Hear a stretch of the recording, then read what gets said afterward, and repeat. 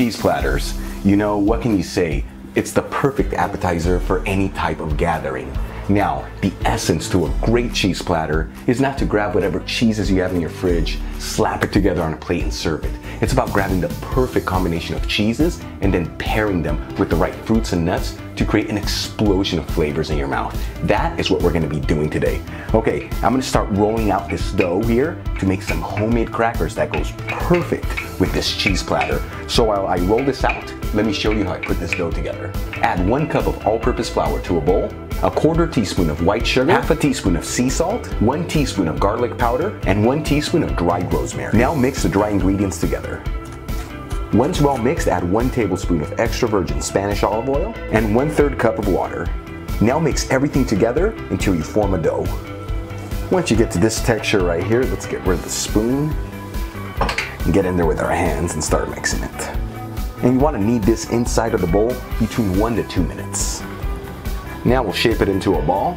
Add some parchment paper to a flat surface. Sprinkle it with some all-purpose flour. Add the ball of dough on top and using the palm of your hand, start flattening it out. And begin to roll out the dough. We want a thickness of about 1 16th of an inch.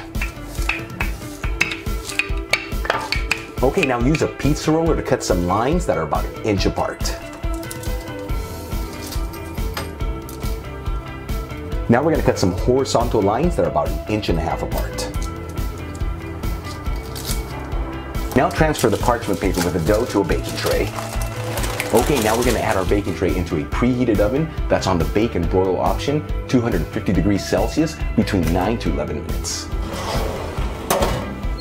Okay, now we're gonna start putting our cheese platter together. The four cheeses I've selected for this platter are an aged manchego, a mature cheddar, a mild gouda, and a brie cheese.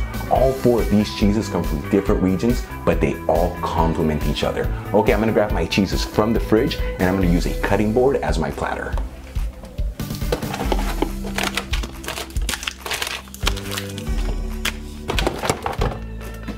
Okay, we have our aged manchego, our mature cheddar, our mild Gouda, and the brie cheese. Okay, we're gonna open up our cheeses, cut a couple slices from each one, and then decorate them throughout the cutting board.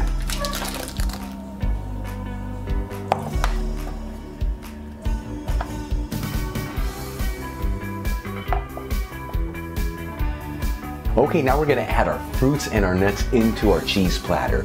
Now the combinations that I've created here create an explosion of flavors. For the aged queso manchego, I'm gonna pair it up with some Marcona almonds. This combination just gives a flavor that's phenomenal. For the mature cheddar, I'm gonna pair it up with some green grapes. I was gonna say olives, but it's actually grapes.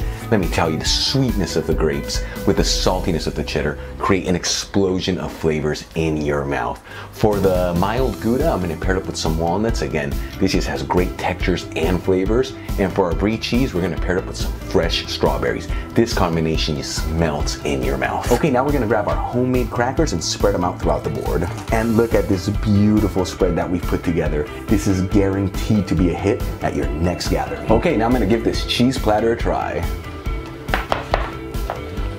Try one of the crackers first.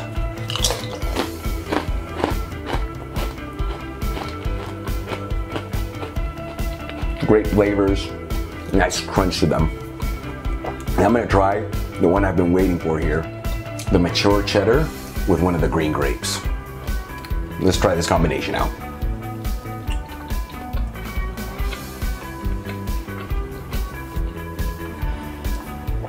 So good. The sweetness from the grapes, the saltiness from the cheddar. Fantastic stuff. I'm gonna do one more try here.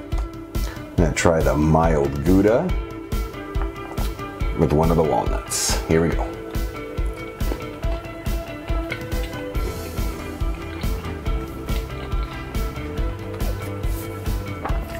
Again, amazing. Great textures. The problem here is I think I'm gonna eat this entire cheese platter. If you enjoyed today's video making this cheese platter, please hit that like button, leave me a comment below, and don't forget to subscribe. Until the next time, hasta luego.